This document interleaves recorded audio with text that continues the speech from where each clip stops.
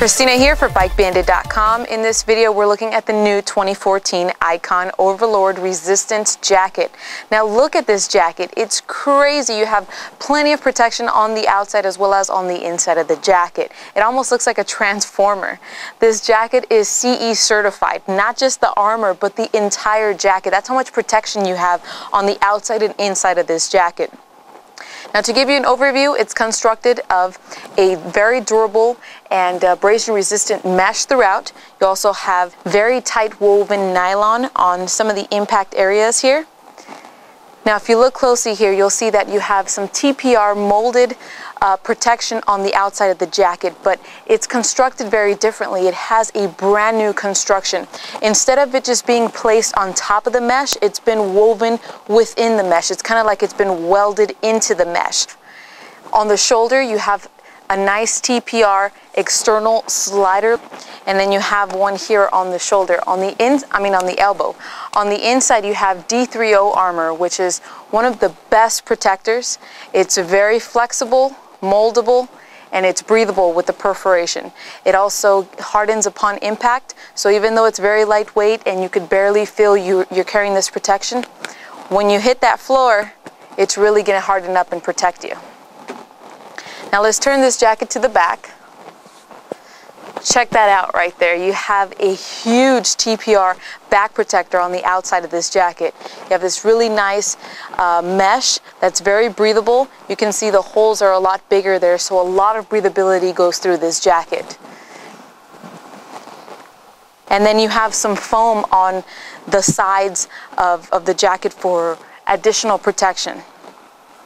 For flexibility, you have these accordion stretch panels here behind the shoulder and then you have some more here on the elbow. Now if we get to the inside of the jacket, it comes with a thermal vest liner to keep you nice and warm. You could easily zip that right out in case you don't need it and you have a mesh lining on the inside so you get a lot of breathability without the liner. Easy to zip back in if the weather drops and then you have some internal pockets here Another internal pocket on the jacket.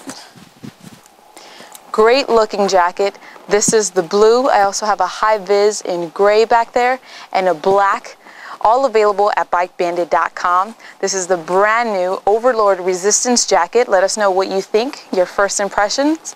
Drop them here on our YouTube channel, or you could also click the title here on the lower corner and that'll take you straight to this product's page. And if you're ready to place your order, you could always Call us at the number on your screen or you could email us at service at bikebandit.com for any further questions. Now we also have the Overlord Resistance Matching Pant. Now this is the black. As you can see here, you have the TPR molded protection on the outside. You have plenty of mesh for breathability.